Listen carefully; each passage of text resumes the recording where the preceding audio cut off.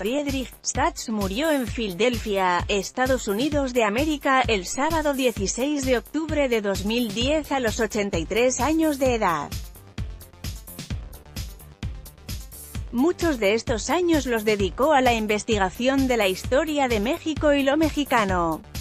Nació en Viena, Austria en 1927 y muy pronto tuvo que salir exiliado con su familia por la Segunda Guerra Mundial pues su padre fue un periodista identificado como judío y antinazi.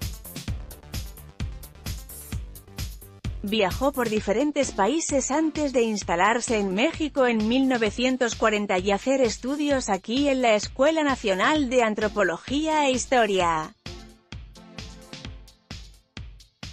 Su obra es extensa y su pasión por la historia de México produjo verdaderos lienzos, situación económica y social de los aztecas durante los siglos XV y XVI, revuelta, rebelión y revolución, la lucha rural en México del siglo XVI al siglo XX, la servidumbre agraria en México en la época porfiriana, de Díaz a Madero orígenes y estallido de la Revolución Mexicana y, por supuestísimo, su biografía de Pancho Villa, publicada en español en 1998 y que junto con La Guerra Secreta, son muestra de excelencia historiográfica.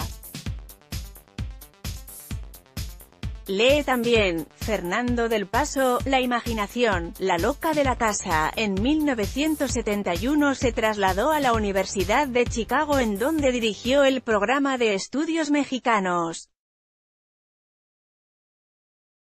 En 1982 obtuvo el prestigioso premio Bolton por el mejor libro de historia latinoamericana, La historia secreta, y en 1999 por Pancho Villa, el gobierno mexicano le otorgó la presea El Águila Azteca. Esta entrevista la tuvimos en 2008, cuando en México se incrementó el debate por los valores, o no, de la Revolución Mexicana, su existencia o no, su permanencia o no y si aún podemos hablar de una herencia revolucionaria.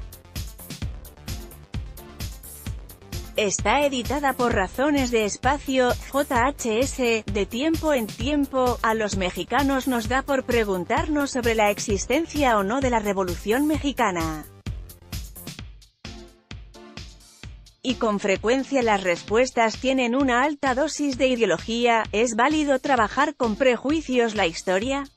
FK, mira, no creo que la historia deba mostrarse a base de ideas o de ideologías. La historia es la búsqueda de la verdad.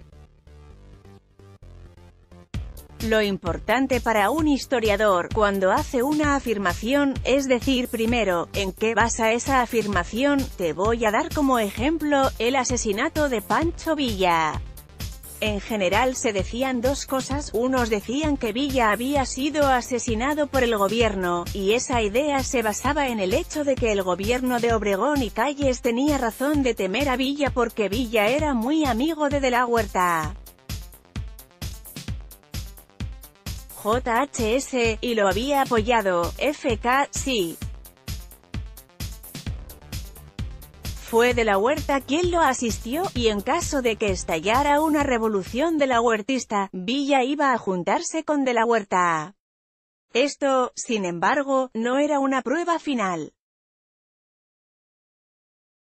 Por otra parte, los asesinos, Jesús Salas Barraza y otros, dijeron que habían organizado el asesinato, y hasta su muerte declararon que habían actuado por iniciativa propia. Después empecé a indagar en los documentos que hasta entonces no habían sido accesibles, y había uno, fue una carta de Jesús Salas Barraza, escrita diez días antes del asesinato de Villa, a Joaquín Amaro, muy cercano a Calles. Ahí Salas Barraza dijo que se preparaba para matar a Villa, a ese asesino, como lo llamaba. Encontré una copia de esa carta en el archivo de calles, obviamente, por lo menos los dos sabían del plan, no lo sabotearon, al contrario, el mismo día de julio en que se iba a asesinar a Villa, la guarnición de Parral se fue a practicar el desfile del 16 de septiembre, pero se fue a un pueblo donde no se podía desfilar porque era muy montañoso. Esta evidencia ya se conocía pero, junto con la carta de Salas Barraza, indica por lo menos la complicidad. JHS, el 20 de noviembre de 1910 se inicia la revolución pero algunos historiadores como Ramón Eduardo Ruiz C. La Gran Rebelión, dice que no, que fue una simple rebelión. FK, mira hay muchas definiciones de revolución. Sin embargo, lo que pasa en cualquiera, o debe pasar, es que haya primero un gran movimiento popular, que fue el caso de México. Ya desde antes se habían sublevado muchos, no en todo el territorio y no ocurría lo mismo en todo el país. En ninguna revolución se puede hablar de una sublevación total. Pero hubo movimientos en casi todos los estados, y en algunos muy fuertes, como en Chihuahua, Durango o Morelos, y en otros más débiles como en Oaxaca o en Chiapas, en otros se llegó tarde, como en Yucatán, y en otros, muy poco, como en Jalisco o el Bajío. Sin embargo, fue un movimiento muy popular y también tiene que haber cambios. JHS, ¿y qué cambió en México? FK, en México sí hubo un tremendo cambio en el campo, por ejemplo.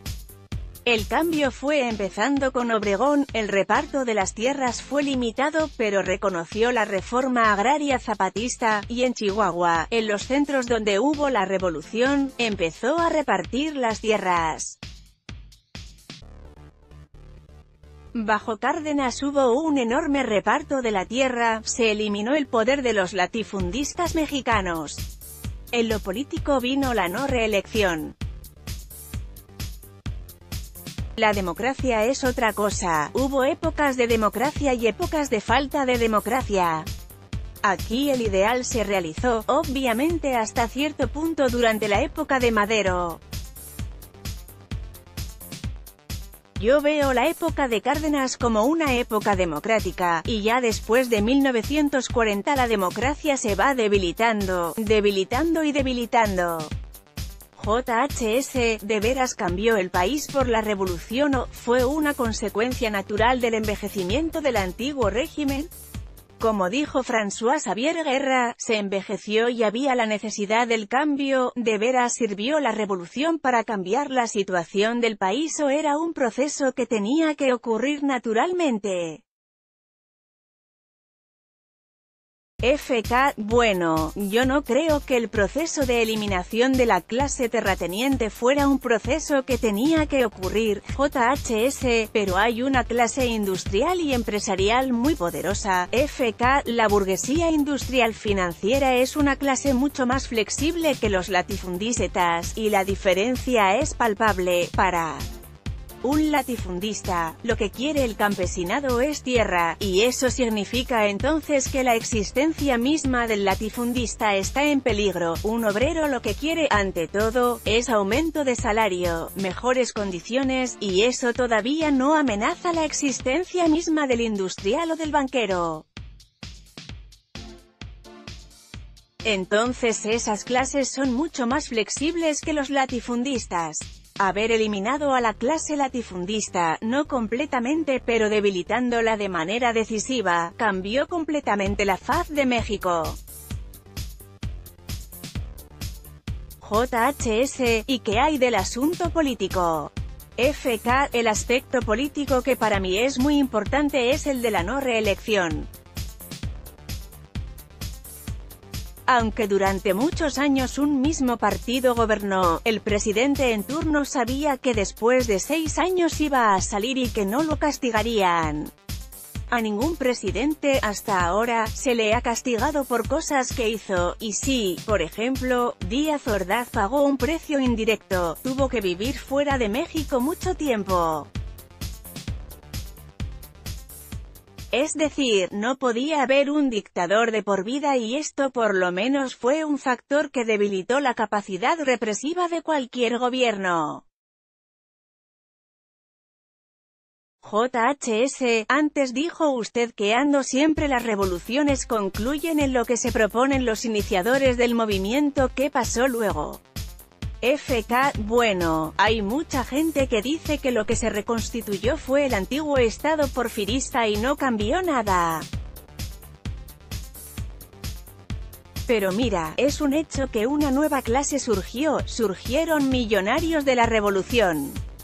Obregón mismo era millonario, pues había ganado mucho dinero vendiendo garbanzo a Estados Unidos, pero una cosa no hay que olvidar, lo que sí cambió fue el hecho de que la revolución había movilizado a decenas de millares de personas, estas personas estaban armadas y los dirigentes revolucionarios tuvieron que contar con ellas. JHS, y de vuelta a la interminable pregunta que ya había planteado Stanley Ross en su libro colectivo, ¿ha muerto la Revolución Mexicana? ¿Murió ya la Revolución Mexicana? FK, bueno, cuando se habla de que murió la revolución, siempre deben seguir otras preguntas, ¿para quién murió? ¿Y para quién no murió? Los gobiernos creo que desde 1940, abandonaron ya muchos de los aspectos y muchas de las demandas de la revolución. Por lo menos hasta 1968 la democracia fue más y más perseguida, los créditos a los ejidatarios ya no se dieron como antes, lo que resultó en una miseria en el campo, los sindicatos fueron más y más subordinados al gobierno. Tenemos entonces una tendencia, como dijo Daniel Cosío Villegas, a que gran parte murió oficialmente en la actuación de muchos gobiernos revolucionarios después de Cárdenas, JHS, y cómo se expresa esa no muerte de la Revolución Mexicana en la mentalidad popular. FK, en la mente de los estudiantes la revolución seguía vigente, también en los movimientos populares. Por ejemplo, en la gran huelga de ferrocarriles siguió vigente la revolución, en una serie de movimientos campesinos siguió vigente la revolución y hoy día para mí es un hecho característico que aquí la revolución mexicana se diferencia de otras. JH Santiago arroba prodigy.net.mx